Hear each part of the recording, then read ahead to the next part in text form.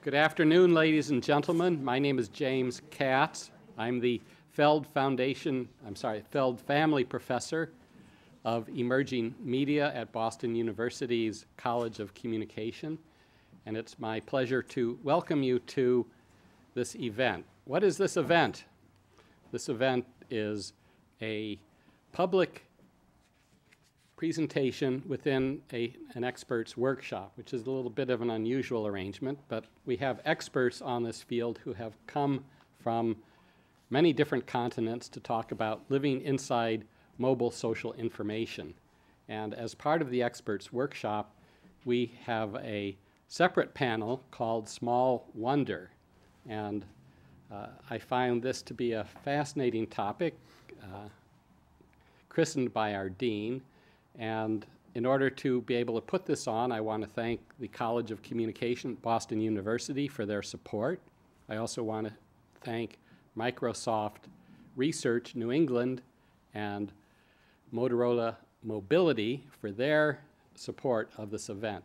Now, if you look uh, at the picture, you'll see uh, a photograph being taken by a mobile device. But if you have a little imagination, which I don't have, but somebody who, do, who does have imagination pointed out to me that there's actually an eye on the top of this building looking back at you while you're taking that picture. So uh, it introduces sort of a fascinating sense of agency that you think you're taking a picture of something and you are gathering information about it, analyzing it, and so forth, and yet it also, it, the object, may indeed be gathering information about you. So that's a lovely metaphor for the increasing universe of intelligent people and intelligent things. And uh, some of you may be here uh, from the Boston University community because of the advertisements for the Small Wonder event. And we had a very large poster, still is there, just a block from here, uh, advertising the event. And I walked by and I noticed what a wonderful uh, image it was juxtaposed to people using their technology devices. So busy they didn't even notice the poster in, in these cases. And I don't know if you can see, it's rather small in the image, but even the people at the table, each of whom has his or her own mobile device and is engaged with that. And uh, this weekend I had the opportunity to fly to Ann Arbor and back. Uh, and there, uh, on the airplane, I noticed in the seat ahead of me, there a person was busy with a mobile device playing a game, and I turned to my left, and there was a family having a little family vacation. And if you can see, it might be difficult, each of them is engaged in a mobile device, including the little boy with the headset, having a wonderful time. Uh, this gives us, these, these are nice images to give us a sense of how our world is changing, and it's changing rapidly, and to give us a perspective on these changes, what they might mean, and where they come from, uh, is an interesting question. But before I begin, I would like to introduce the Dean of the College of Communication, Tom Fiedler, who uh, has been very gracious and very uh, supportive of our efforts to advance the Division of Emerging Media Studies. Uh, and fortuitously, here on cue is our dean, Tom Fiedler. Please join me in welcoming Professor Fiedler. I really am prepared to say anything other than welcome again, and uh, I'm looking forward to hearing this uh, the panel and give us a, a uh, the public view of uh, all of the wisdom that hopefully we'll be gaining from this. So thank you. I'll You're go welcome, back here to my seat in the uh, gallery. Well, uh, I just have to say on a personal note, and uh, this is off the record, so uh, of course I, I don't think anyone's recording this. Laugh. Uh, Let me turn my glasses on. yeah, yeah, let me turn my glasses off and, and tell this to you. But uh, Tom has been a wonderful inspiration in helping us become and move forward uh, in the realization of an emerging media research body here at the College of Communication. The College of Communication, as you may appreciate, has long been a leader in the practice of communication in mass communication, advertising, public relations, film, and journalism. Uh, and with the generosity of the Feld family we're, and the leadership of Dean Fiedler, we're able to move forward now on the research component. And as I think you've heard from the papers here today, there are a lot of exciting issues, and we hope that Boston University's College of Communication can be involved in those issues as we move forward. So thank you, ladies and gentlemen, for your presence here today. And I will now let the process begin, and I will ask um, Dr. Scott Campbell of the University of Michigan to give his talk to us. And I will Thank you. hand him the control. Okay. So we're loaded up here with our. Uh,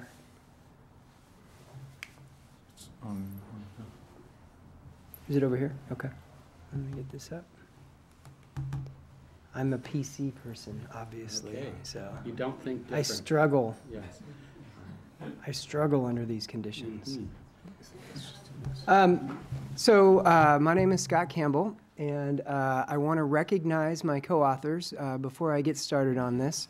Um, Joe Bayer, who is in the audience, is a graduate student in the Department of Communication Studies, um, extremely focused on the reasons why people text and drive, amongst other cognitive processes associated with mobile communication. Uh, so, he's interested in explaining behavior. Uh, my other co author, Rich Ling, is uh, on the sociological end of the spectrum, and he's extremely interested in explaining the uh, social consequences of mobile communication. So I've got these collaborators who are, you know, in psychology, in sociology, and I'm kind of, you know, the guy in the middle, I guess, uh, working with them, and it's it's very exciting because what I'm trying to do in this presentation, what we're trying to do, and this is this is one piece of a, a larger body of work that that we're pursuing right now is we're kind of trying to bridge the sociological and the psychological theoretically um, to, to basically make the argument, um, as I will here, that um, just as in the practice of everyday life, uh, our, our social circumstances intersect with our cognitive processes and they work together and they fight against each other but they're but they're you know they're either working or fighting against each other but they're not in separation they're not in isolation of one another. And yet theoretically when we're trying to understand mobile communication and why people use it the way they do and why the consequences emerge the way that they do um, uh, we, kind of have these separate traditions of sociology and psychology, and they're they're not entirely separated, but they're much more separated than they than they are in terms of regular, everyday, real world, you know, experience. The, the cognitive and the social are really kind of you know uh, intersecting with one another. So then the name of this presentation is um, the case of the disappearing phone, and um, ultimately where I'm going to be heading with this is uh, uh, uh, to set up a framework. Um, I guess I can give you the overview. To set up a framework um, that looks at the sociological, the, what I consider to be the, the latest sociological theory about the role of mobile communication in, in social life today, um, which is coming from Rich Ling's uh, latest book, Taken for Grantedness. Um, trying to bridge that to um, the embedding of mobile communication at the psychological or the cognitive levels. So, embedding is kind of a core theme here the embeddedness of mobile communication, as I'll explain. And use that framework as a way of maybe providing some theoretical traction, I guess you could say, for considering um, implications of, of um, in this case, Google, Google Glass, which is you know head mounted, um, has a head mounted visual and oral interface, um, voice interface, and gesturing, which I'll talk a, a little about a little bit in more detail about. Anyhow, with these you know new emerging technologies, um, so that we're not entirely exploratory in how we approach research and thinking about them, my goal here is to kind of lay out a set of uh, a a framework with a set of concepts um, that that sort of structurally provide um, the ability and, and some guidance to think about and do research on emerging forms of mobile communication, eh, with Google Glass being an illustration of this.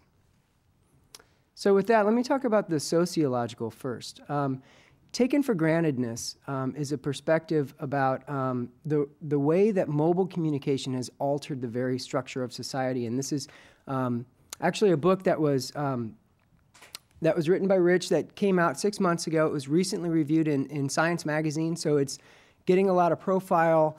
Um, and, and I think that it's going to have a big impact on the way that people think about mobile communication because it really advances a new argument.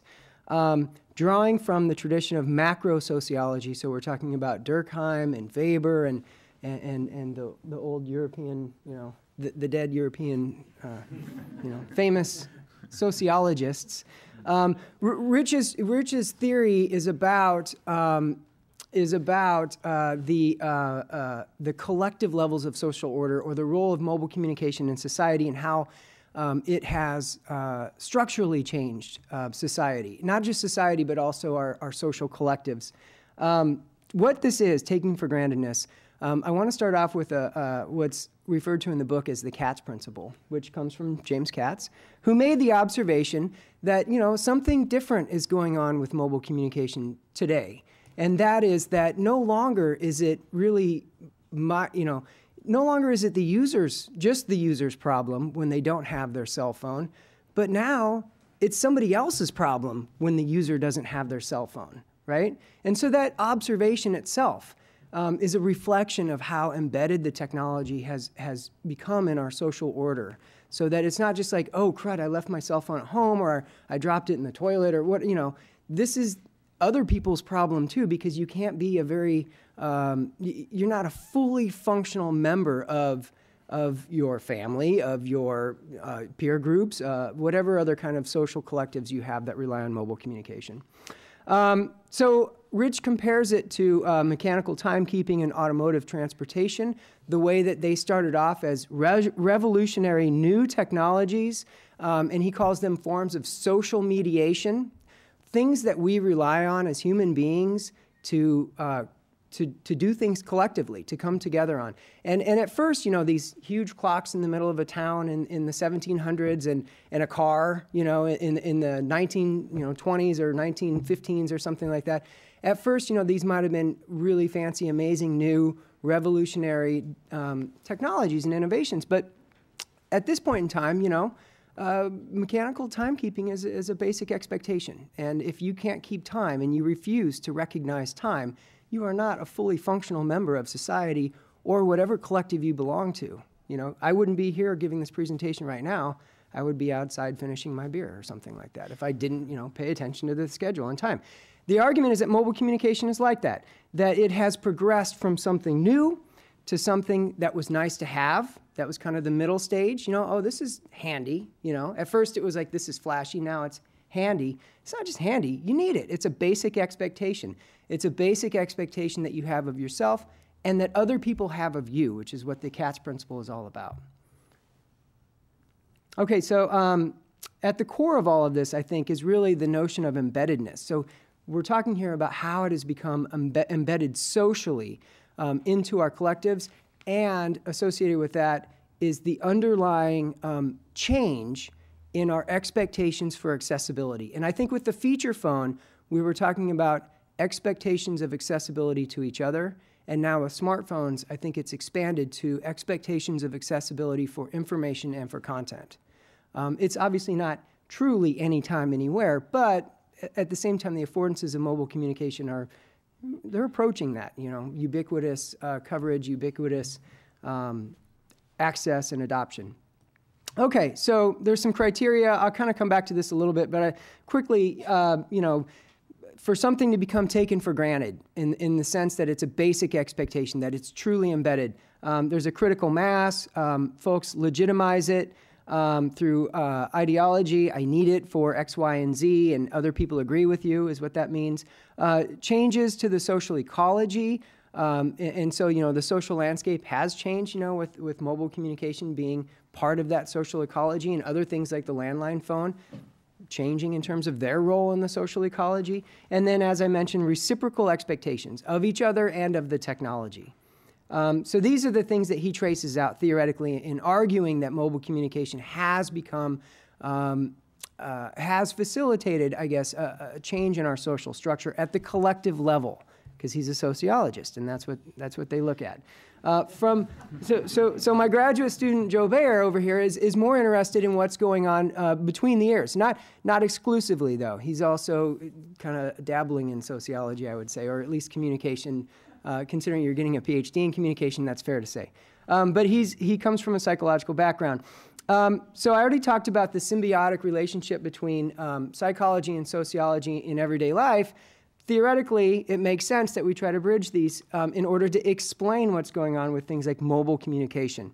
Um, so there's, a, a, I think, a great deal of utility that I'm going to try to demonstrate with an illustration today in, in, in taking uh, a perspective that, that so far has the scope of it only lies within the realm of the sociological tradition and stretching it and extending it and trying to apply it to the psychological uh, and using that as a framework um, to try to get a, a maybe a, a, more holistic sense of what's going on, a more realistic sense of what's going on, with psychology and sociology in practice being so much, you know, so related to one another.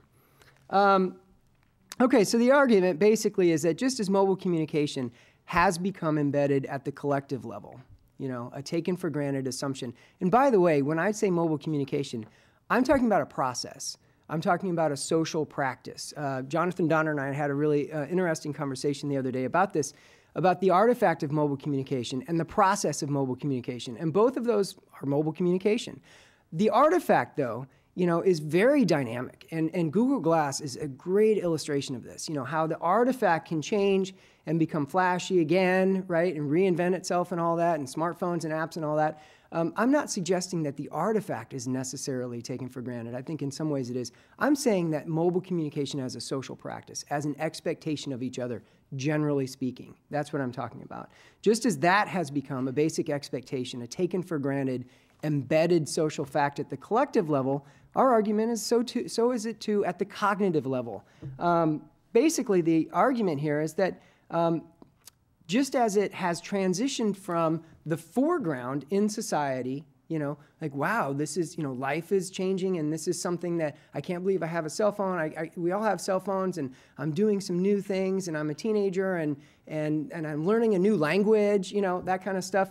Just as it has moved from the foreground to kind of the background as a basic expectation as social practice um, at the collective level, I think it has also done that at the cognitive level so that we don't consciously think about our cell phones and mobile communication as a social practice um, as much as we did when it was newer, when it was, when it was a new innovation. Okay, so that's the argument. We're trying to make a parallel here. Um, that it's become kind of second nature for a lot of people, like checking your watch. Okay, um, and a good illustration of this, I think, is phantom vibrations. That really, I think, reveal how cognitively connected, and we don't even know it, we are to mobile communication. I don't know if you've heard of this phrase before, but um, actually, I would be curious uh, if people would raise their hands if they've ever experienced a phantom vibration, where you think your cell phone is going off and it's not. Right, you feel that on your leg. No, it's not. And so that means that you're primed, right? Cognitively, you're so in tune to mobile communication and the expectation of accessibility, being accessible to others, others being accessible to you, that um, on a psychological level, you know, you're reacting to your cell phone without it even doing anything. And that's an automatic reaction. You don't plan that, you know, that's an automatic type of reaction. To me, that's an example of it moving to the background, right? From the foreground to the background.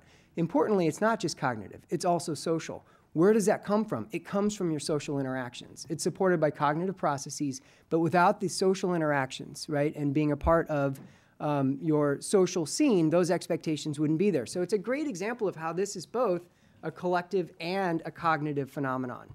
Okay, so here's the illustrative case study. Um, uh, we're trying to use this new framework, embeddedness at the sociological level, to embeddedness at the psychological level to explain something. That's the point here, right? Um, and so texting while driving. Why? Why do I pick that as my illustration?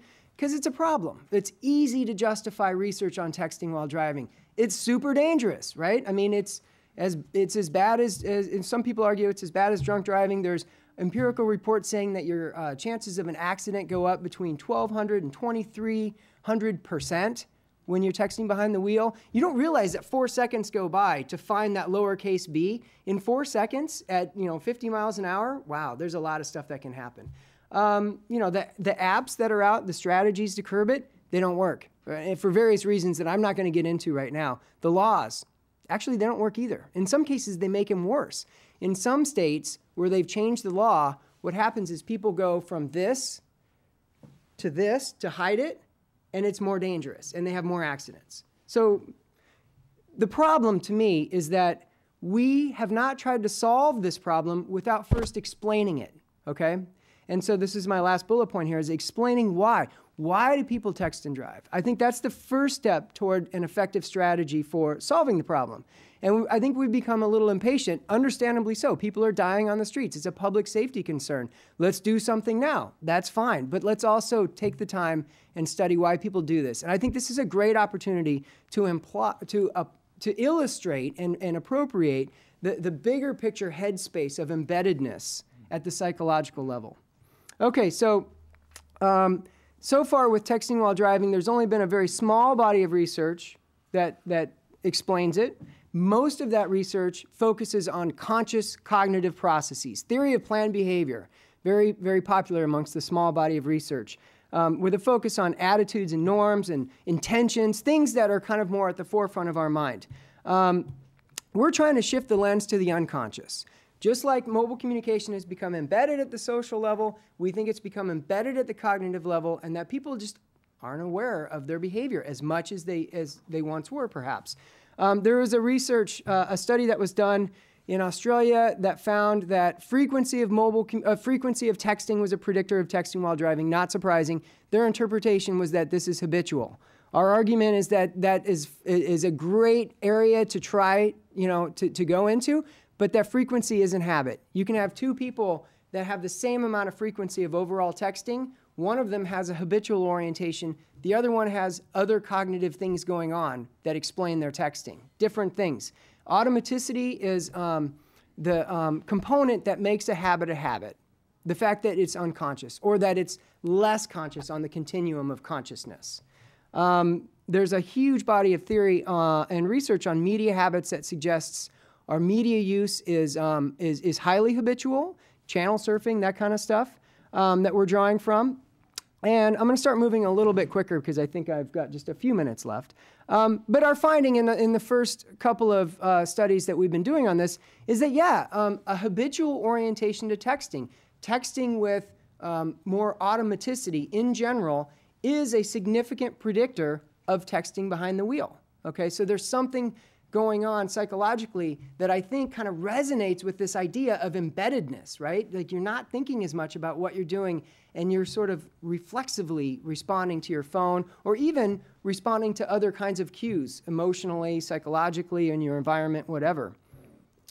Okay, so um, I'm actually going to skip this conclusion because really what it does is it more articulately, it articulately um, captures what I've already said, okay? Um, I like this paragraph. I like it better than how I sort of stammer as I'm talking, but um, to save time, I'll let you read it. It's in the paper. You can't do that. Okay. I don't want to. All right, great. Just as mobile communication has shifted from a foreground artifact of attention to an embedded part of social structure, so too has it shifted from the foreground toward the background of cognitive processing. While this demonstrates a pattern of parallel movement across sociological and psychological fronts, mobile communication also intersects, so we've got parallels and intersections both, these two fronts as a go between in a chicken and egg style, um, chicken and egg cycle of mutual influence between social behavior and cognitive processing. It is this intersection between cognitive processing and social behavior that calls for an interdisciplinary framework that bridges the psychological and the sociological streams of theory.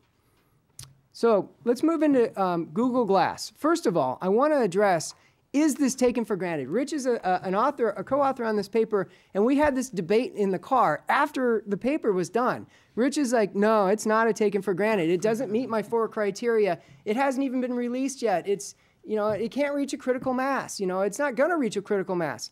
My argument is this, and now your argument is too because you're on this paper is that is that it, it actually it, it is it is a take it already automatically is taken for granted in the sense of what I talked about before. It is part of the larger practice of mobile communication. It's the not the artifact, but the practice of mobile communication that I argue has become embedded in society, has become embedded in our cognitive processing, and that is what is taken for granted. So Google Glass as a form of mobile communication, I consider it already part of that larger taken for grantedness. So my interest here, I'm going to look at the affordances. Um, I'm going to talk about the implications, the potential implications of Google Glass for embeddedness, um, and the ramifications potentially for both social and psychological realms, okay, because they go hand in hand. And these are just a few illustrations, a few case examples. I'm not trying to exhaustively cover all of the affordances. To be honest, I don't know what they all are yet. I don't think we all do, um, any of us, because it hasn't come out yet.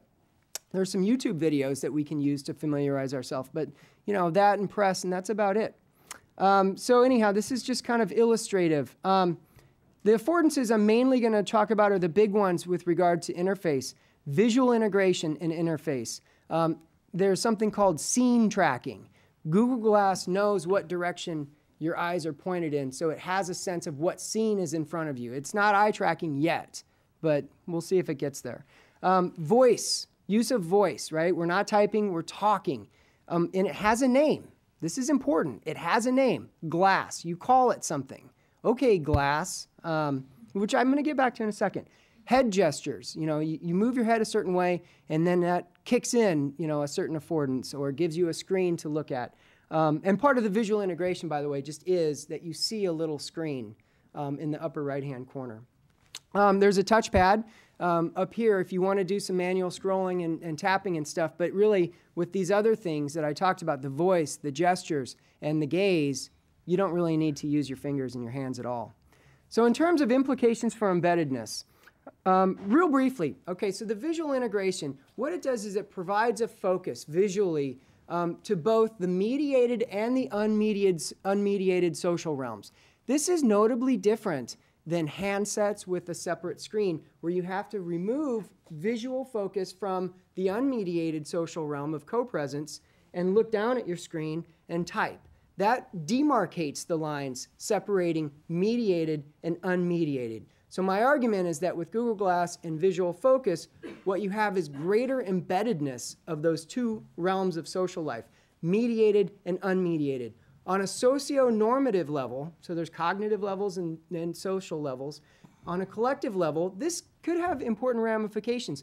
We have things like absent presence that Ken Gergen argues, where um, you have to negotiate norms when you violate expectations for presence, right? And so, like with teenagers, they've successfully done this. It's perfectly fine as a teenager to remove your attention visually from the group, look down at your phone, right? That's fine and accepted.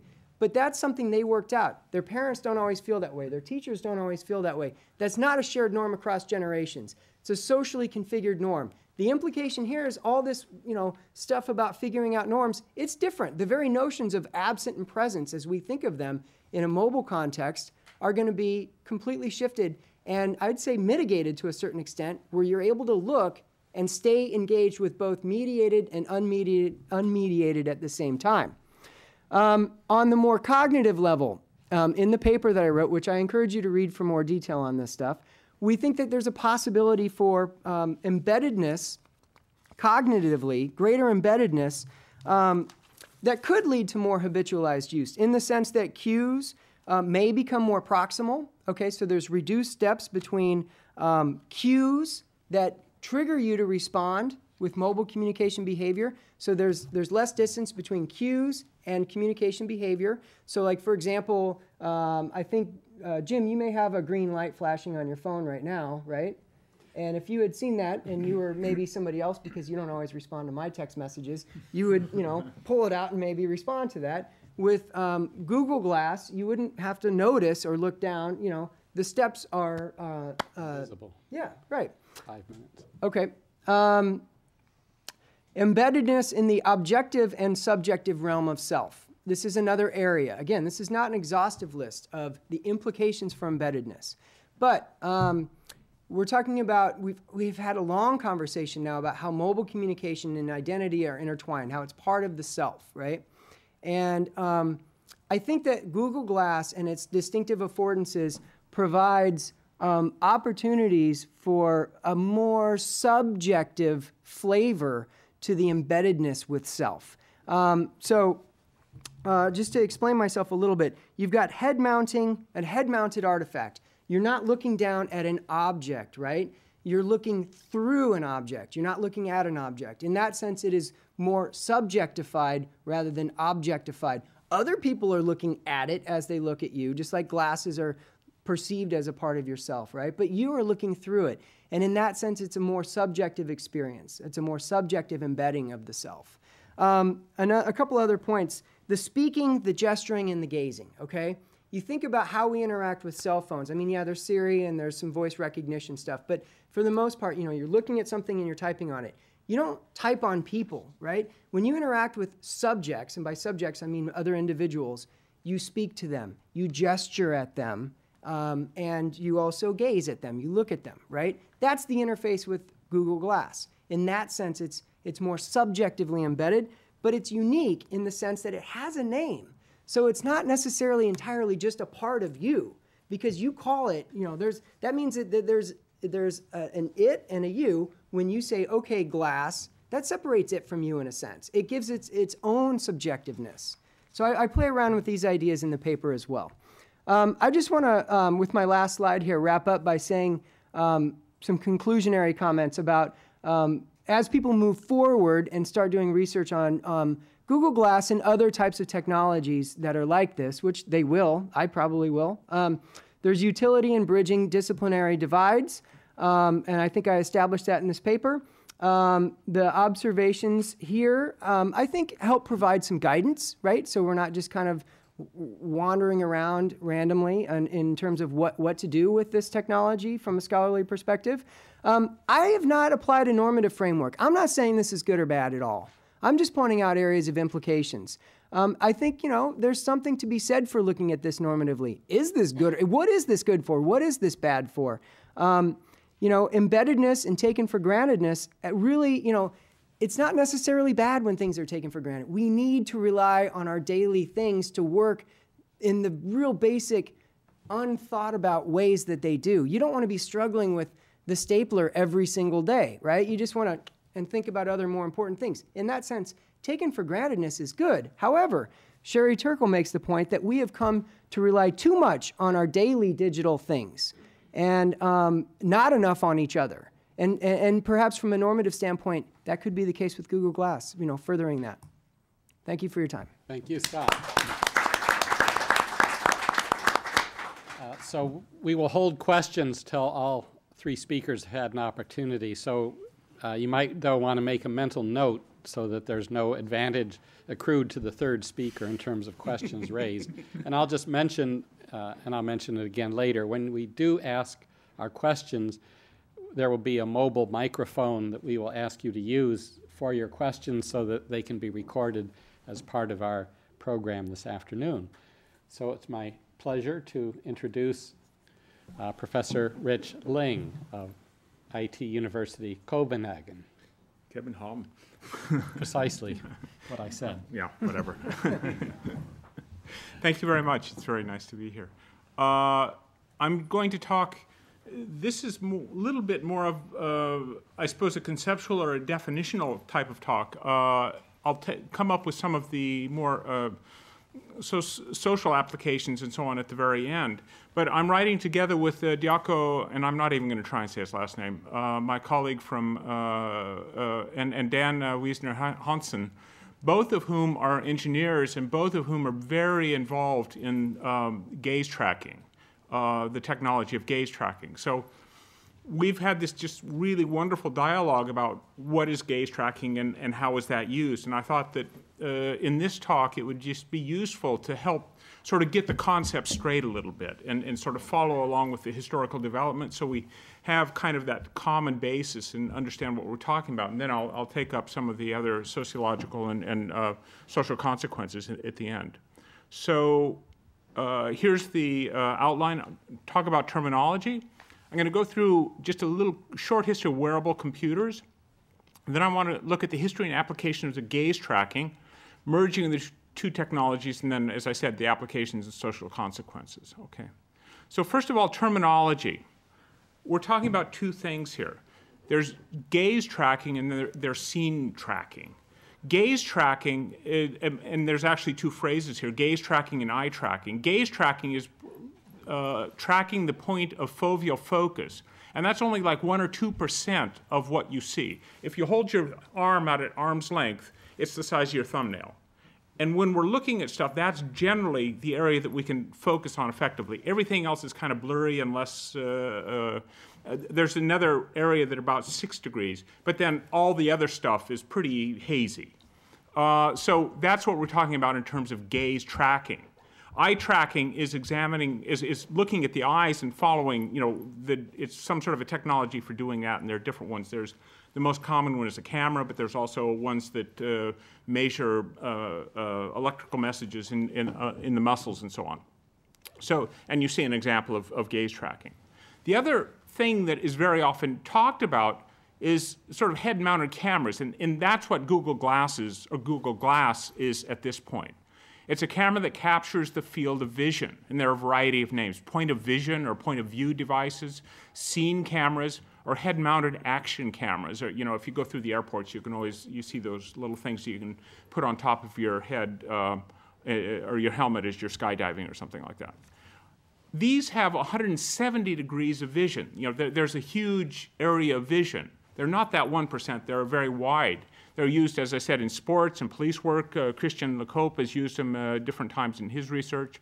Uh, and then yet another category, and I don't really have a good name for this, so I'm just kind of making this one up, is head-mounted computing devices, which is, I'm trying to play around with something that Google Glass is, is a category of, but I don't know that we're there yet. So let's go over to wearable computers, wearable computing systems. And you know, depending on how you define it, you can go back to what 14, 1500.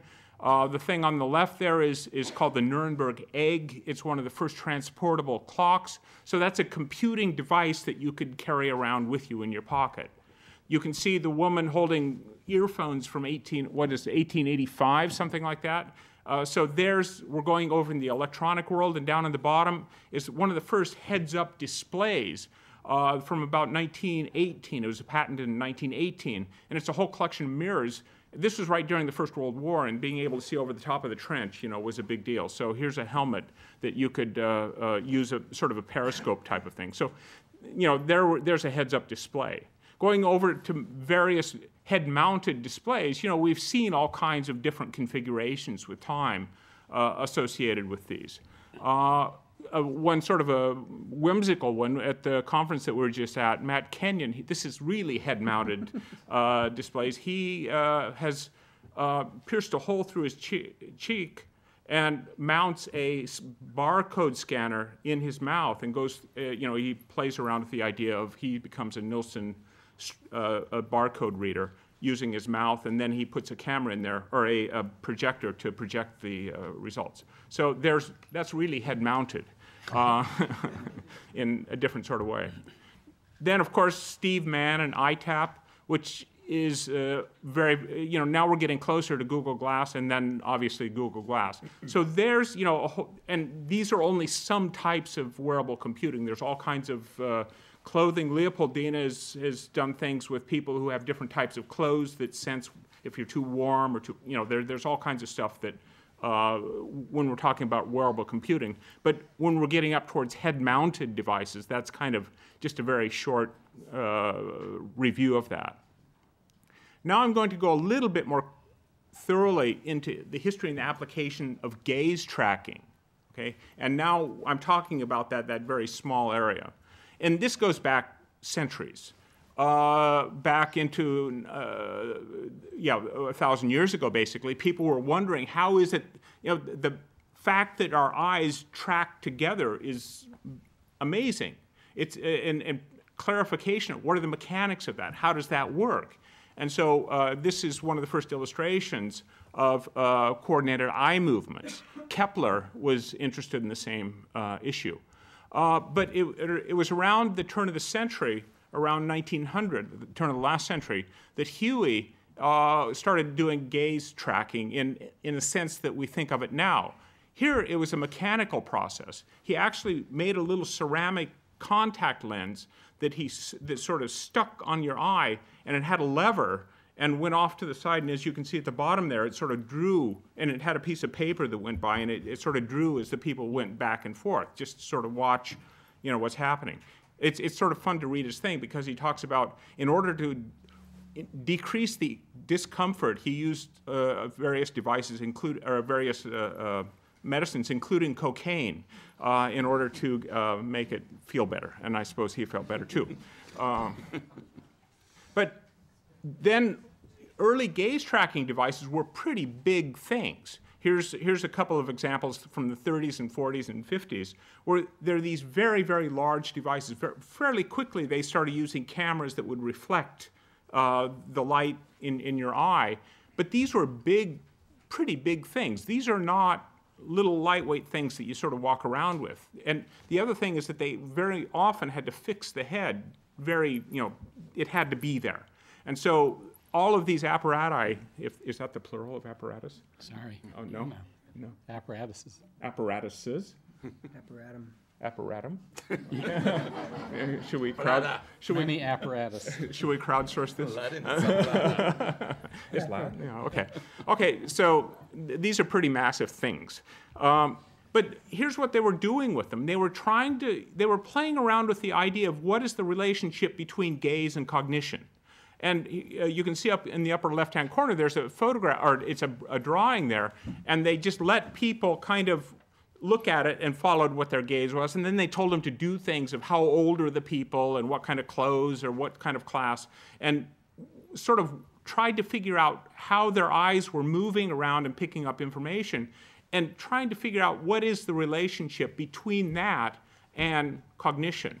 Uh, one of the next steps after they got a little bit further along, they started doing this with reading and saying, you know, read this, and, and the, the, uh, the second row of numbers is milliseconds that they would dwell on a particular word.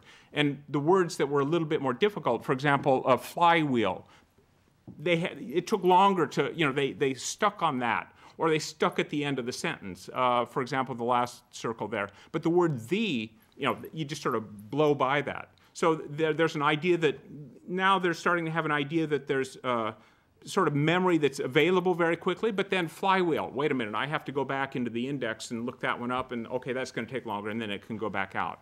So there, there's that type of an application. Still, you know, there are these massive machines. They also use the gaze tracking for children or for, or for small babies to figure out what are they thinking. Uh, and they, they would show, uh, uh, have a gaze tracking type of thing on an on a infant and show it a, um, a face and then mess around with the, uh, in, in this case, they would mess around with the, um, the elements of the face, the nose and the eyes and so on, and blank. And, you know, do they get the same type of uh, pattern? Fairly quickly, gaze tracking also came into HCI and design. And, and uh, the one on the left is airplane. It's a, it's a uh, instrument panel from an airplane while the guy is landing, and they were trying to figure out what's what's the important information and where's the guy looking. Uh, and the one on the right is is more modern one where people are, are uh, looking. Where are they looking? Uh, in this case, it's a, a, a menu system, but that's been used for all kinds of things, newspapers and uh, art and all, all kinds of stuff like that. Um, the next real big step in all of this is that they started making that feedback in sort of real time and getting it so that now the gaze, I know exactly what you're looking at, and real time manipulation of things. And this is kind of almost this is a little we're a little past this state of the art now but this is one of the main things if you do that you can get you can get people to move the cursor around on the on the computer and if they want to do something then they blink uh, you know th- those sorts of uh, hci types of things there's a lot of problems with that uh, but the, one of the classic uses of this is people quadriplegics who basically can't uh, move anything else, but they can move their eyes and they can do some sort of an interaction with a computer based on, on this gaze tracking. Uh, now, you know, now we're in the period where uh, we're moving beyond just having these massive machines. You know, the, here, here they're still On the one on the left, it's relatively uh, still massive. The one on the right, the, you can see a sort of glasses-like thing, but it's still the cameras for picking up the uh, the gaze are still quite prominent there. Now we're moving into a period where these things are being embedded very much in everyday objects. Cameras, if you look at the camera on the front of your iPhone, it's, it's you know, down in millimeter size. Those types of devices allow, mean that you can um, embed them in all kinds of places. And, and, as a matter of fact, you can buy sort of like a spy glasses that have a little pinhole uh, right there, and you can you know, record video and all those sorts of things. Okay, so that's kind of you know, that's a history. It's been used for various types of things, various sort of niche issues, various kinds of HCI research types of things, and the devices are getting smaller and smaller and smaller, and more and more manageable, more and more mobile. So, merging of the two technologies. Google Glasses has a forward camera. It's, it's a point of vision or a scene camera. You can see the scene, but not the specific point of attention. Okay, that's the, that's the state of the art right now. Two, four, five years, that, that'll likely change, but that's the way it is right now. And HMGT, which uh, is our uh, abbreviation for head-mounted gaze tracking, allows for more specific tracking. It enhances the potential for uh, head-mounted computing devices. In other words, you can see to, down to the, uh, you know, that one degree circle what somebody is lo looking at and will eventually enable us to uh, use of gaze tracking in natural environments. In other words, we're taking it out of the laboratory, we're taking it out of the hospital, we're taking it out of those scenes, and it's becoming more and more, it can be adopted in society. Okay, now uh, moving towards the end, the applications and social consequences. Okay, there's tons of applications. You can think of all kinds of different sorts of things. For example, uh, doctors are using them looking at x-rays. Uh, and they've got a, a set of uh, x-rays that have, uh, you know, uh, 10 sets of x-rays, and, and uh, in this case it was lungs, and, we're, and looking, finding the cancer. And just figuring out how do you teach medical students to look at an x-ray by tracking exactly where their eyes go. And figuring out, okay, this guy is just looking at stuff too fast and he's making the wrong one, or this guy does a good job, you know, those types of things all kinds of other types of control for, for production processes.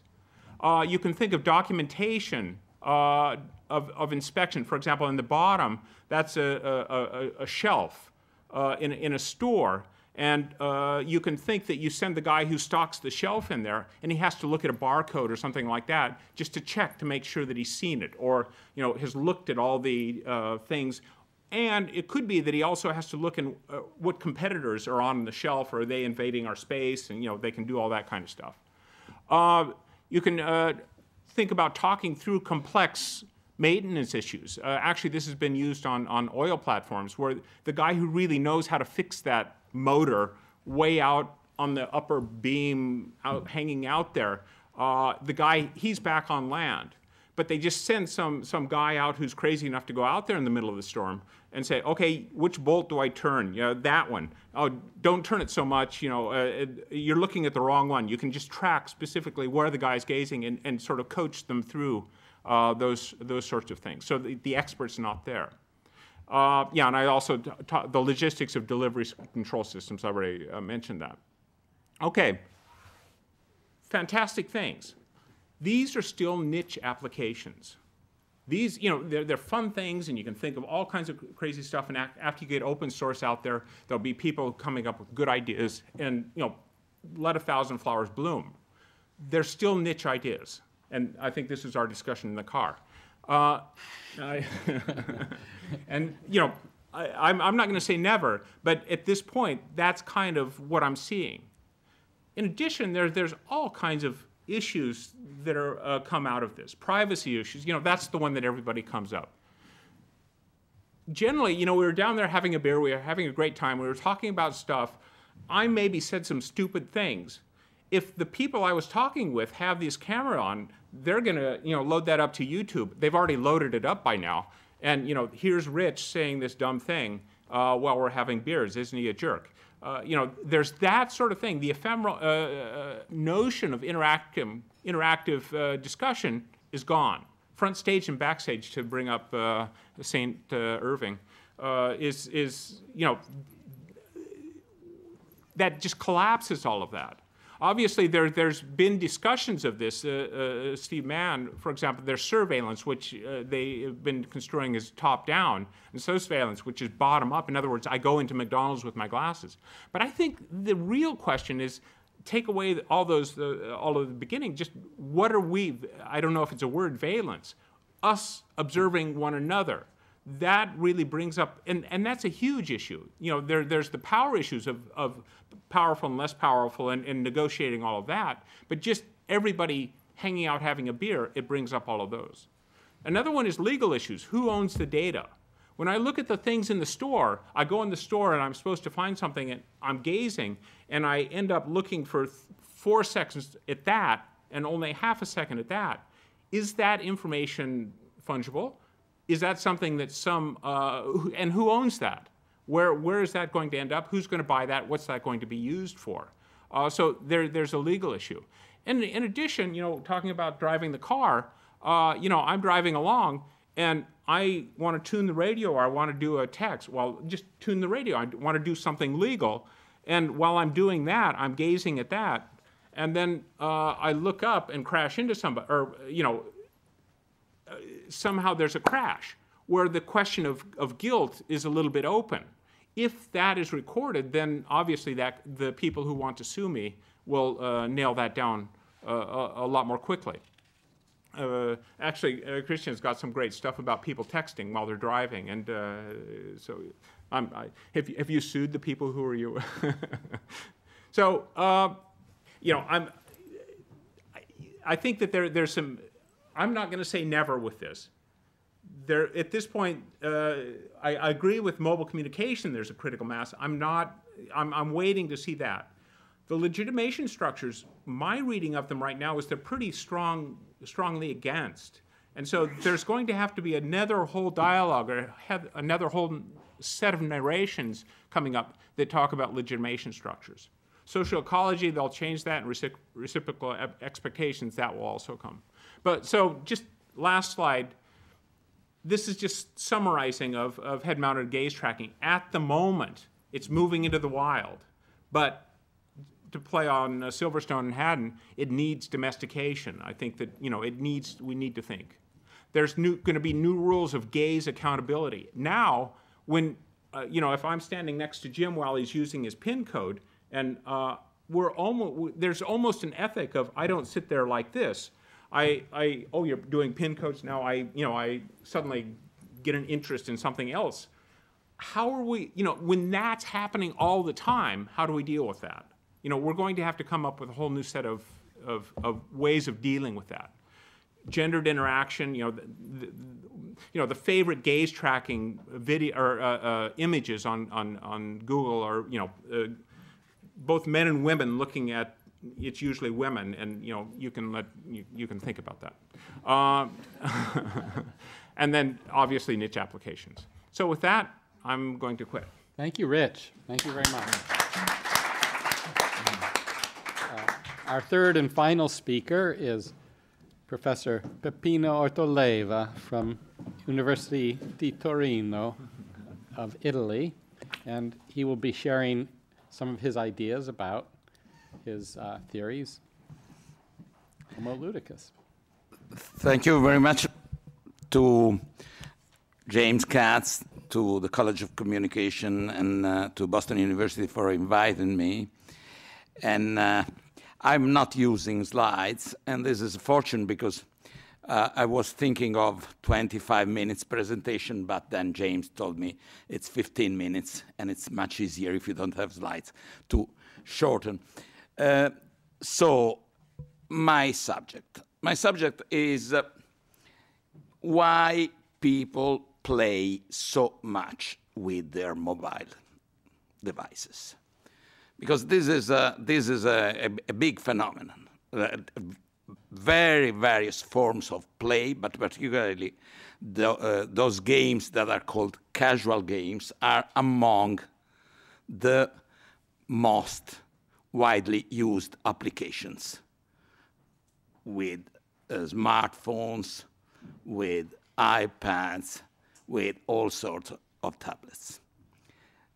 My interpretation, to sum up very shortly, is that this has to do very much with more general and not only technological changes in the way people play and people have been playing in the last 30 to 40 years, with some changes in the attitude toward moving as opposed to statiality, to being steady, and also uh, in uh, the human machine interaction that is typical of these devices. So let's uh, start from the facts, very short facts.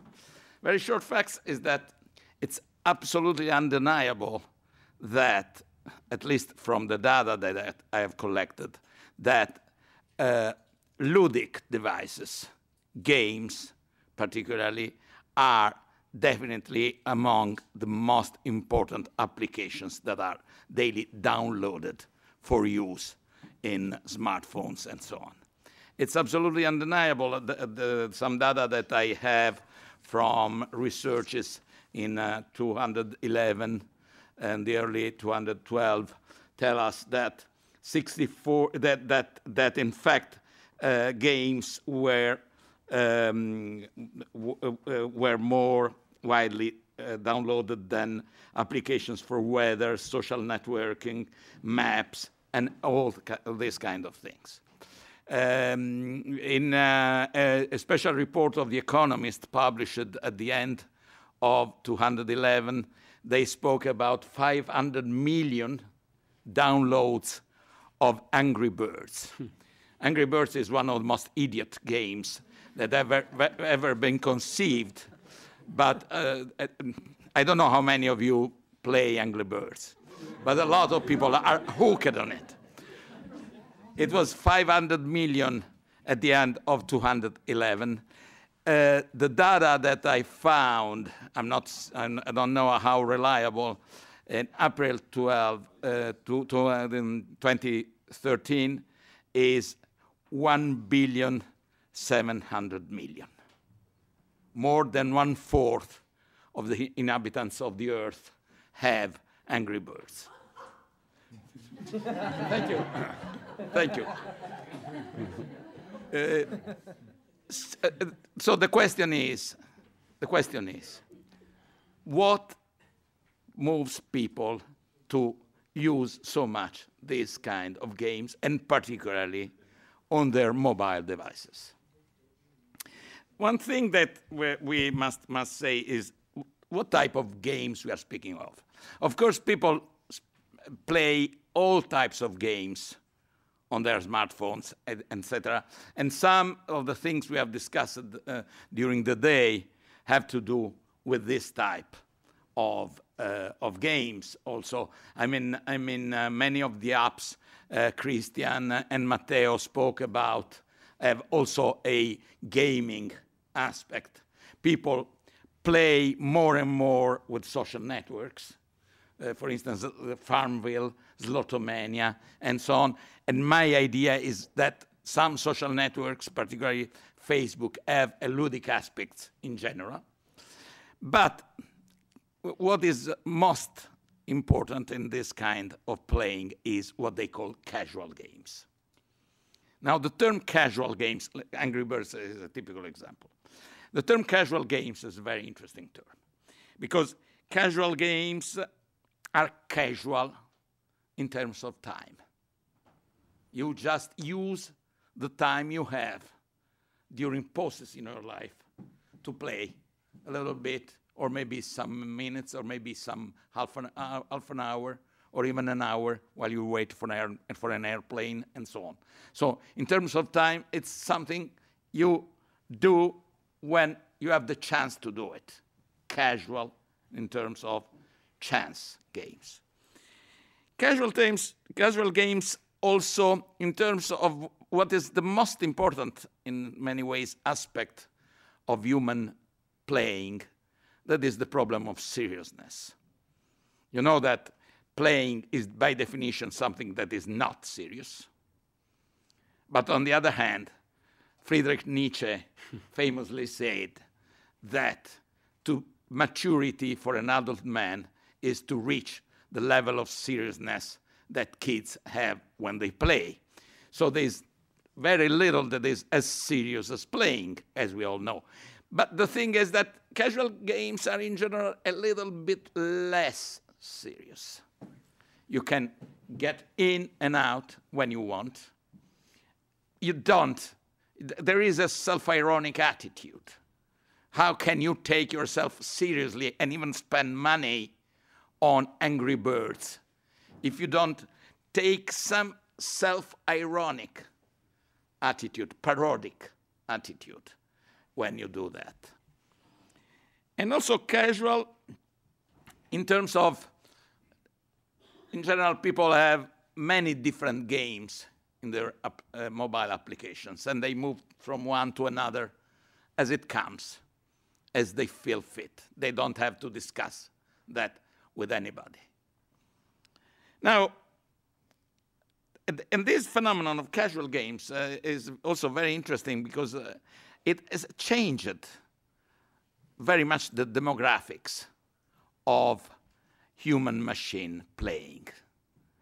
Um, with casual, uh, I mean, uh, data are not sure, but with casual games, the proportion of women playing with machines has grown enormously from the period when video games were the and, and computer games too were the only games people played with machines.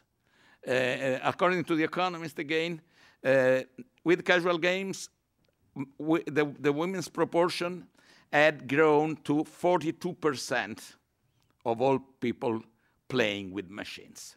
And everybody thinks that it's going to reach the parity or even more. And also, the proportion of adult people has grown. Uh, now, always according to The Economist, the median age for people playing with machines is about 38 years which is pretty high in front of what it was considered to be maybe exaggerating at the age of video games. So it's a, gen- a very generalized behavior.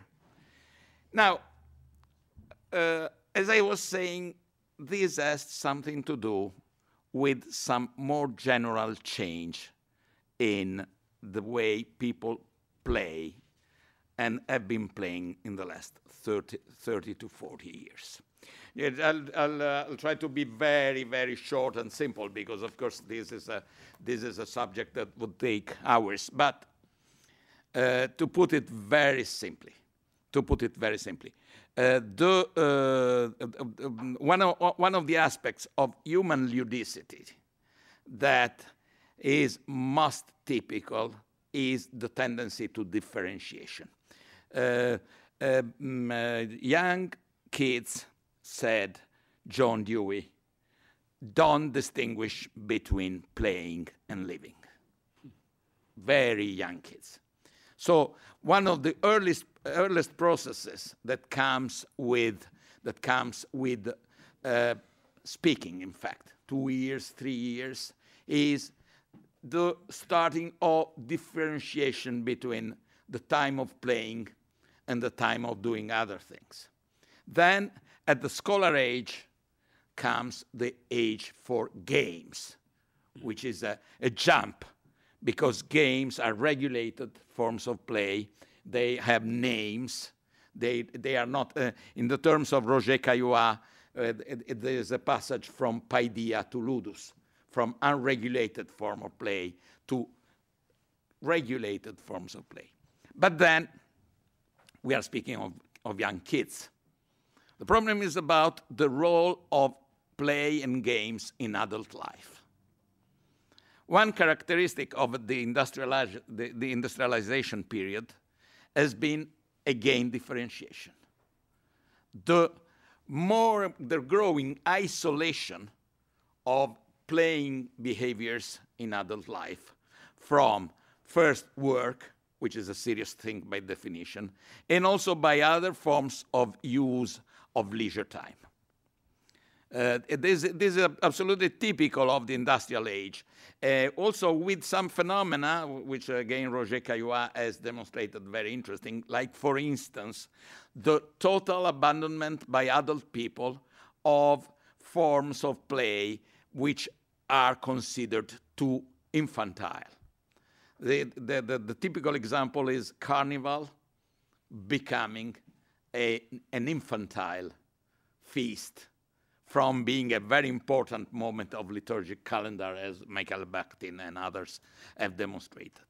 Um, um, um, disguising, um, mimicking other people's uh, behaviors, which have been which have been very much typical of also in some moments of the year, in some rituals of adult behaviors, have been restricted more and more to uh, infantile behaviors during the whole industrial age.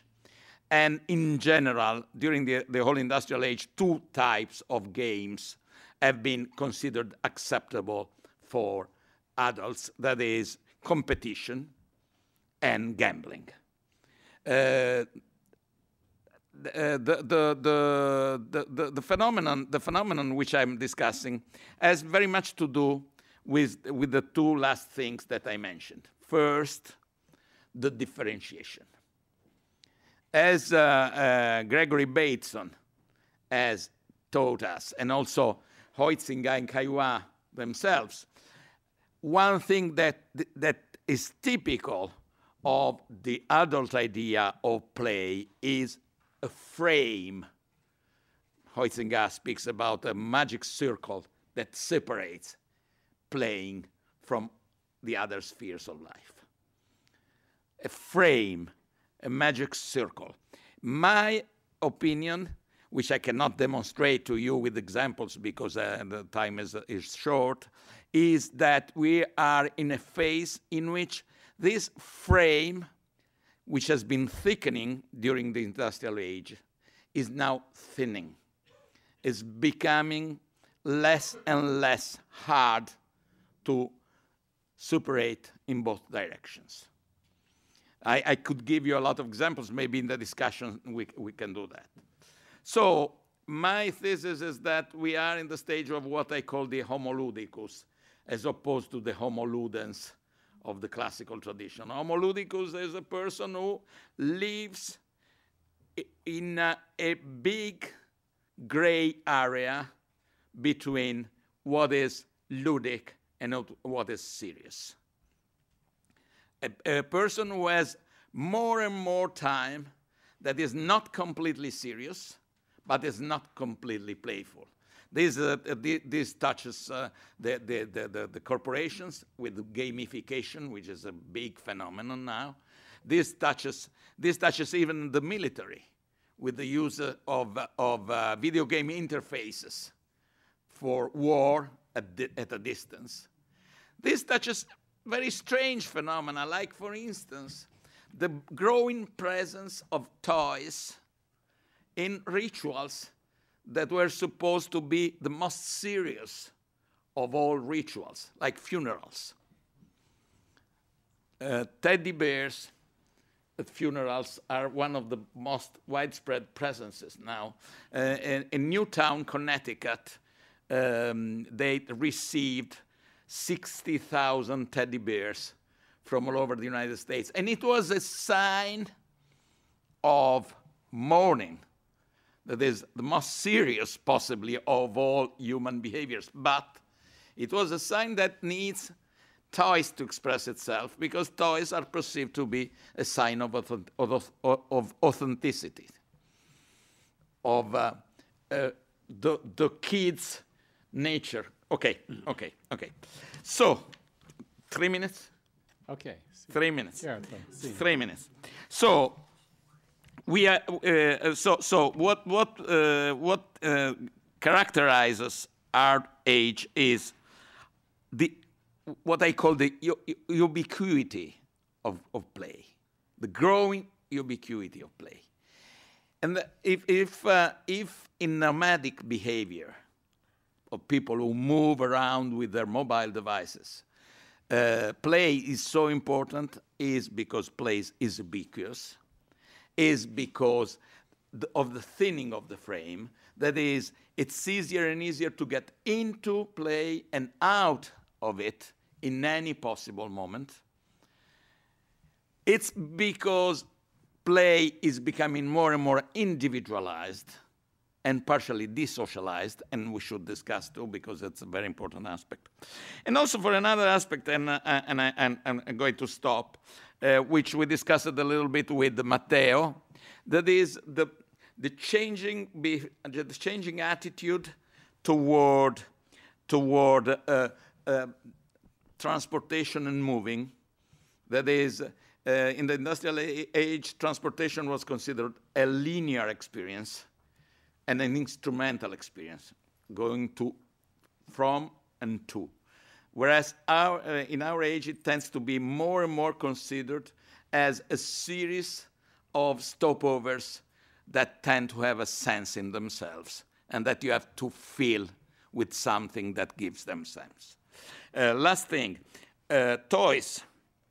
The, the, smart, the, the smartphone and, and, and, other, and, other, and other machines like that are becoming more and more similar in human-machine interaction to toys, which is an infinite potential for pleasure, because that's what toys are. But at the same time, they are partners. You can play alone because the machine is a partner, and a referee. The machine is a referee, a toy, and a partner. And this, I think, is in the, the relation we have with, with mobile devices in particular, a very important subject. And so I want to end with a small quotation uh, that will give you some news about my generation. Uh, it's, a, it's a quotation from Bob Dylan. The highways for gamblers you better use your sense. Take only what you've gathered from coincidence. I think that casual games are pretty much part of this new wisdom that Dylan announced and now is part of our nomadic behavior. Thank you. Thank you very much. So I'll, um, somebody has the microphone. Great. Thank you, Carol. Uh, we now come to the interactive portion of the program um, where we get to have the audience either raise questions or uh, make comments on the three presentations that they've heard. And as I said, we have a mobile microphone, so please use that. Uh, and of course, we have a very rich menu of ideas and thoughts here. So um, uh, I now open the floor for questions and comments. Uh, Nancy. Yes. Nancy Baym from Microsoft. Scott, I was wondering if um, you read Robert Scoble's piece on living with Google Glass for two weeks because he's had it for two weeks and he wrote a blog post, I think, two days ago where he says, I will never go another day without using it and it's for all the reasons that you talk about. He are, talks about not having to shift the gaze when he's talking to people, and all the things that you talked about. So if you need some examples for your paper, he's provided them all for you. It no longer needs to be speculative. You can now rely on him. Thanks. I'll check it out. Uh, just as a point of clarification for Rich's comment uh, with the end user license agreement for Google Glass, they own all the data that is collected by it. You're only licensing the use of this device. Uh, It's not yours. But just, just to comment on that, if I, there are other, uh, Epson, for example, has a uh, device, so there, you know, there are several of them, so I think that uh, we need a broader concept here. Goes back to Natalie's comment about uh, power to the people. So another comment. uh, Okay, so uh, it, I uh, was very intrigued by your comment about the um, playfulness of the smartphone and it, it the um, colorfulness of smartphones now seem uh, on their landing page seem so childlike, uh, sort of like building blocks from kindergarten uh, with the different tiles. And I wondered if that's proof or at least uh, support for your point.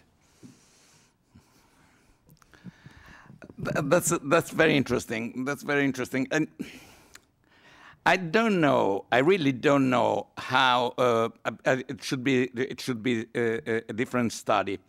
How the design of smartphones in its evolution has really kept in, in into account uh, the psychology of the users.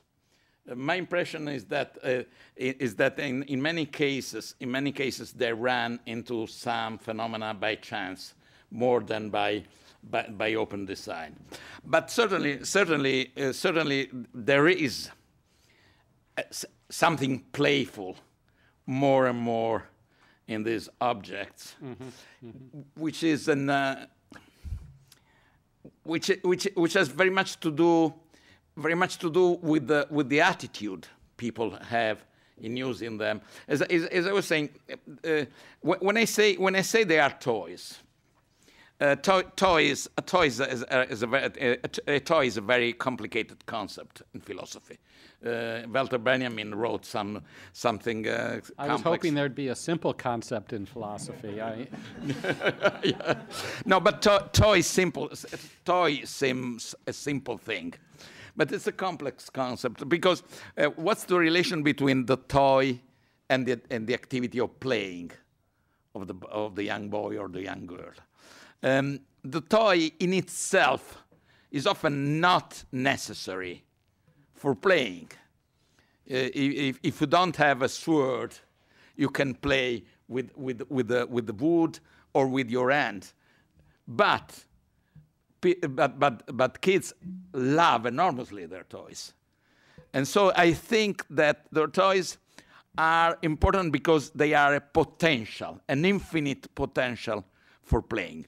And, and this, this is, I think, more and more the toy, the, the toy-like aspect of hmm. smartphones. The infinite potential for doing everything, including a lot of games. Very good. Uh, and I just also wanted to give a question opportunity for our audience who could not be accommodated in this room in particular. So, um, yes, uh, we do have someone there. If uh, Joyce Walsh from the Department of, of She's rescinding oh, she's her just, question. but uh, you must have some question. All right. Uh, unfortunately, hello. Yep. No, no, no, no, no, no. um, I didn't Step hear. into the I didn't hear. I didn't hear all the presentation, but I did, hear two thirds of it. Uh, but the impression I'm getting from many of the comments is that uh, there's almost a need now for a new movement. Uh, we we talk about slow food. How about slow living? because uh, there, there's a uh, the fact that, uh, and I think it's it's uh, Rich who mentioned that the fact that uh, we need to fill in our times, all our times. Even now, there are probably some people who are uh, on their their uh, iPads or whatever, uh, must be saying something about us, and I'm wondering what it's saying because basically, and and it goes to what was mentioned at, at the end in terms of individuality. Uh, although there's a, a, a virtual community out there and it's soliciting us all the time, so I, I'm I'm trying I'm trying to figure out in terms of, of mutation in our culture what this is, is, is saying and if, if it's going to go to an extreme or if it's just going to go back to a certain point or what's going to happen with that. Can I, can I comment on that briefly? Uh, Yes, we have a, um, S- Scott, please comment on that, uh, to the microphone there. Okay. Um, I, first of all, I, like intuitively, I, I buy it and I feel that way, right? But um, I, I guess kind of refuting that a little bit in one example is I, I was surprised to learn with this texting while driving stuff, uh, the, the University of Michigan Transportation Research, Research Institute, they, they do all this stuff.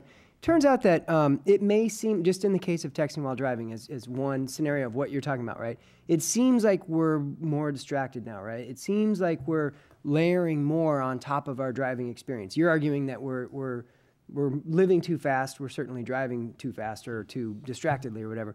Turns out that with a cell phone, without a cell phone, that the human brain is going to take something like 6% of its cognitive capacity while you're driving and just find something else to do with it no matter what. And that and that their argument over there is that you can you know you, you can take cell phones away you can fix the problem. People are still going to be using as much of their cognitive capacity to do something else and that this is just going to be traded for another thing. My argument is that texting is more dangerous than getting a hamburger out or changing or fiddling with you know other things. So i still think qualitatively if not quantitatively we're doing something different qualitatively we are at least I, I- I don't, I don't completely disagree with what you're saying because you're, you're taking a, a very isolated thing, which is texting as such. I'm looking at it in a much general fashion. right And, and, and basically, uh, it's true that uh, part of my brain might be doing something else. But what was it doing before? Was it doing more face to face? Was it uh, thinking about when I get home and I, and I see my wife, what's going to happen and all this? Was it, so it's not so much speed as as filling in. Uh, it's not the it's not the, the speed of what we're doing. It's more of those spaces that we're filling in, and that basically uh, we were doing other things before, which might not have been productive, but which might have been putting us more in contact with our immediate environment rather than our virtual environment. Okay, we have uh, two people that wish to respond, Andre, to your comment. First, uh, Rich Ling, because he put his hand up first, and then Peppino, because he put his finger up second. So, Rich, if you would. No, I, I think that y- I think that the tr- trajectory of, of techni- technical development is pushing it exactly in the direction you're talking about. And I, uh, Leopoldina has a wonderful comment. I asked her where she wrote it. She couldn't remember. My graduate student found it. Uh, and talking about putting things into the folds of life. In other words, there, you get that little moment at the bus station, or you get that little moment you can pull out, and you know that's actually some of the stuff that Scott and Joe are doing. Is that you you have that moment, and then it's becoming wired in just to the into the way that we deal with standing at the bus station. So you get there and you've figured out the timetable and so on. And you've got five minutes. Okay, what do I do now? You maybe look around a little bit the phone is there you know and and that's you know you almost think about the the people who smoke cigarettes. You know they they're going out the door. They've got they, they've got the routine down. The, before they know it the cigarette's out and the lighter's there uh, without even having to think about it. And i think one is that just basic technology is getting to be sort of so entwined in in our lives. It's not these huge, massive things. It's it's little things, and we're using. And you know, we've got those routines, and we've got our habits around them, and, and the expectations. So I, you know, I don't know if that's good or bad, but you you bring up a very good point there. Yeah. Peppino. Well, um, I, I think I think also there is an aspect uh, you should consider, which is uh, adaptation to a to a very new environment. Uh, I mean, I mean, this uh, this omnipresence of intelligent machine is something is something really new in uh, in our life, and um, and so and so uh, particularly playing is a very specific tool uh, for human evolution. Uh, th- this is really one of its specificity. It, it doesn't serve, it, it, it, it, it has no use, but at the same time is so indispensable because of its evolutionary nature. But it's not just playing, um, experimenting all kinds of possibilities of these things is part of our growing used to them, but also our growing able to do something with them. Microphone. I think the example that was given in one of the talks this morning about uh, Foursquare uh, almost being uh, used as a game, how fast is going to get here, and, and things like that, is a very nice example that a lot of the things, and I, I, I see it, for example, in, in the print media, uh, when they go digital, they almost have to have like a kind of a game in there. Kind, there it has to be a kind of a, a, a flavor of a game so that people really get into it. And I think a lot of applications play off that. So uh, playing is obviously uh, something that's very much linked into uh, into m- many of the applications that that uh, happen. Uh, We have another comment, uh, Letizia, and and then Jonathan. Thank you. Uh, I guess, Rich, this is a question for for you for your presentation. Um, I was very interested about the uh, possible application of gaze tracking, and when you make an example about, let's say, students that want or have to learn the professional gaze of their mentor. Uh, would it be an archaeologist or uh, a clinician? So they can see where his gaze goes, let's say from the upper left side of the X ray to the bottom. But in some sense, what they have is a map of the gaze of their mentor.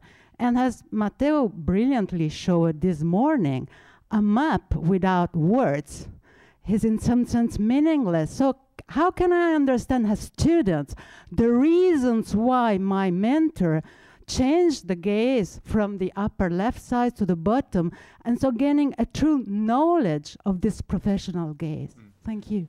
One of the things, uh, you were talking about the x-ray uh, example. Yeah, and, and quite often the, the thing that they do is that they've, uh, for the students, they'll have 10 x-rays, and four of them don't have any cancer, and two of them have very bad cancer, and so on.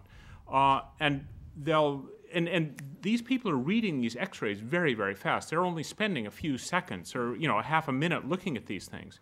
And if they always look at the center first or they find something a little bit suspicious, but then they, they just focus on that and don't continue to look around. So I, the use of words, uh, you know, in that case is not really relevant because here the, they're looking for visual cues of, uh, of, of some type that, that uh, for the expert will be a, uh, uh, you know, this is cancer and that's just, you know, last night's dinner or something. I don't know. yeah.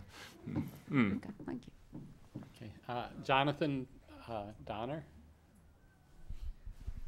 Uh, apologies. This is another question about the the glass and the and the heads up technology, but I mean anybody can can answer. I'm I'm curious a little bit about um, whether we're at a difficult moment for uh, conjecture or theory about this because of the uh, who's getting who's getting this technology first, and whether the the kind of the seeding of the technology and the digerati as opposed to teens um, may be complicating things a little bit. I'm wondering, you know, what are the what you know? You, you've done a lot of work, Rich, on on on teenage use of, of mobile phones, and how do you think if a teenage if if if a group of teenagers got their hands on this thing, what's going to be different? You know, I, I think the, the, the parallel maybe is, excuse me, cameras on phones, just actual cameras on phones, because, you know, those have become ubiquitous. And uh, my understanding of teens is, you know, I'm getting, this is more and more ancient history, uh, but uh, is that within within teens there there's a, a type they develop a sort of ethics of when it's appropriate not appropriate who you you know uh, and and there's all kinds of stories and all kinds of narrations about when and where and how you use the, the camera phone when I was, you know, we never had cameras at parties. You know, it was just nothing you, it, it was nothing you ever thought of. It could be that, you know, everybody would line up and so on. But now they're just sort of part of the, the group. And I remember we had a focus group several years ago, and these, you know, these were, were a, a group of skiers uh, or um, uh, snowboarders, and they were kind of hip hop ish, and you know, all of them came in wearing sort of leather jackets with their hats on funny ways and stuff. Uh, and they sat down, and this, in this case, it was a focus group among friends, which is sort of a fun thing to do. And they started talking about, well, there was that one time that we had this great party, and John he drank too much and he fainted on the floor, so we took the uh, magic markers and you know painted him up, and it was a lot of fun, yeah. And then you know, uh, and then we took pictures of him, yeah, yeah. And he he said, yeah, yeah, you guys really got me that time. Just wait, your turn, your turn's going to come. You know, there was that sort of thing. You know, this is jovial. And so we asked, well, you know, what about would you do this to other people? And the re- response, no, we're not evil. I, I remember, you know, uh, we're, in other words, they had, they'd worked out some sort of ethics about this. Uh, and, and so they knew that in some respects, were the boundary line. You can think, though, about the rape cases in, is it Steubenville? Uh, there, they blew it. Uh, and it had huge consequences. And, you know, that's just keep, that'll, you know, go on and on and on for a long, long time. So I think that's one of the things about teens is they do develop these ethics, but they blow it too. Uh, and that's part of being an, an, a teen, I think, is, is figuring out where those boundaries go. And you don't know where that boundary is until you blow it a little bit. When I was a teen, we blew it, but you know, it, it, the ramifications weren't recorded. Uh, now, now they are. And so I think, but at the you know, just one little quick other ramble is, is the whole idea of, of parties that get out of control. And they, they've figured out ways of, of doing that so that they, you know, that half of the Oslo doesn't show up at your doorstep because they heard there's a cool party there and they trash the place. There, there's sort of a maybe almost an urban legend thing about the five people. I, everybody has a friend of a friend or something like that that that happened to, and so that's part of the the atmosphere for them. So you know, I, it's it's you know, it's it's going to be interesting to watch. Yeah. Thank you very much, Christian. Yes, it's just a comment on the glasses too. Um, I had the, you mentioned very much the issue of surveillance, uh, so how the recordings would matter with respect to the people who were recorded. Uh, but also an issue about the, the, the gazer, the person who is using the glasses. I had the occasion to try to wear camera glasses to do ethnography, that means to, to, to move around people and record myself. As it's a wonderful tool to, to record some actual data in an ethnographic way.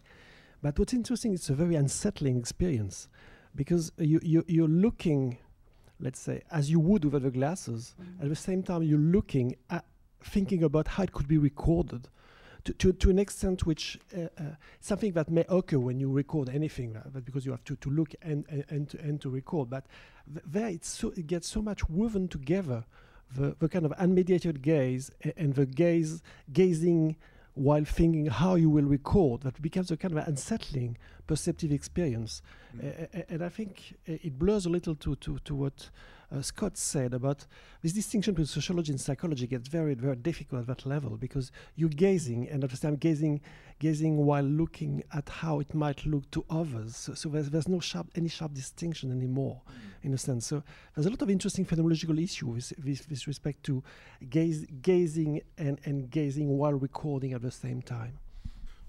But then it would almost be, you know, you're using it as a specific tool. Actually, police are starting to use uh, uh, glasses mounted cameras.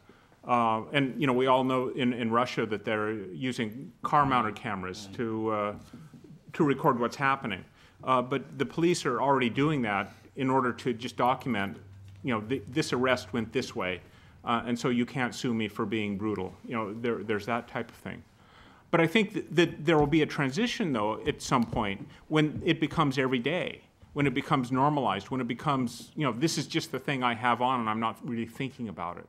Uh, so I, you know, I, that, that will be an, sort of an interesting transition of not only if you're recording me, I'm aware that I am accountable for what I'm saying in a different way, but also, you know, you in that situation, there would be an unnaturalness uh, for the unrec- you know when you compare that to the unrecorded world. Yeah, there's a lot of issues there. Yeah. Just, uh, just a short, uh, a short um, question. Don't you think that there is a strange phenomenon in this idea of the glasses that is uh, to filter reality through very much audio and visual instrument mm -hmm. in a moment in which there is a tendency on the opposite to opening also to other senses, particularly to the tactile, which has been which has been particularly a, a, a phenomenon of the last 30 years. Um, I, uh, what what made me always uh, not very very uh, uh believing in this thing is is that is that it's it's a, it's, it's, it's an idea that goes to the, the, the period of cinema. Okay. Uh, uh, I'm, I'm, I'm joking, but I'm not joking. Uh, and we, we, are, we, we, are far beyond that in many ways. Hmm. So we, uh, we're going to have to wrap things up, but we would like uh, Professor Joyce Walsh from the Communication College to be able to address a question and hear a response. Thanks, Jim, and thank you. Um, wonderful talk this afternoon. So I thought that your um, observation that the ephemeral would be recorded, and then Jim telling us that the user contract states that Google owns this data, scary. So when will the users uh, start to push back on the companies? You know, you're talking about the mores are changing, and and even teenagers understand how to handle the technology with consideration when do the companies start to respect our privacy? I, I, think the, I think the onus is being put on us to protect it, and I don't see it moving in the direction that you're talking about with young people. I I think, you know, being a little more comfortable maybe and, and not making the transition, but kind of growing up with it and being used to it, you know? I would just uh, say, on the other hand, you, you have places like the European Union, which has uh, various very stringent privacy policies about that, and Google has been engaged with them uh, along with other companies for some years. Just to give you an example to show you that there are such laws, uh, in France, if you uh, collect data on someone's racial heritage without getting it cleared from the data authority, the maximum penalty is what? Six weeks in jail? Three, uh, $50 fine? No, five-year maximum penalty for that. So uh, these are very, uh, these do range, and so it's not out of our control. It's not necessarily a generational issue. It can very much be a matter of, of public policy. So let me say, today we've had the opportunity to raise a lot of fascinating issues, explore them in, in some depth, and uh, we have a rich menu of ideas to consider in the hours and days and weeks ahead of us. So let me thank all of you for coming and for your kind attention this evening. And